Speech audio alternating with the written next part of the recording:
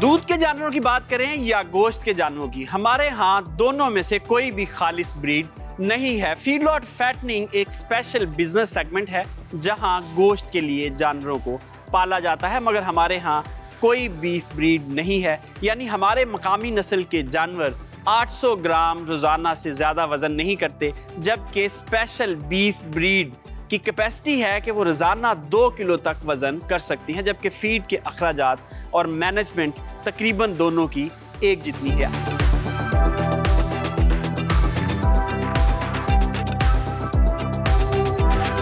Life stock ही एक ऐसा शोबा है जो मुख्तर अरसे में मवेशी पाल किसानों के मुआशी मसाइल हल कर सकता है और मुल्क की मीशत को भी सहारा दे सकता है।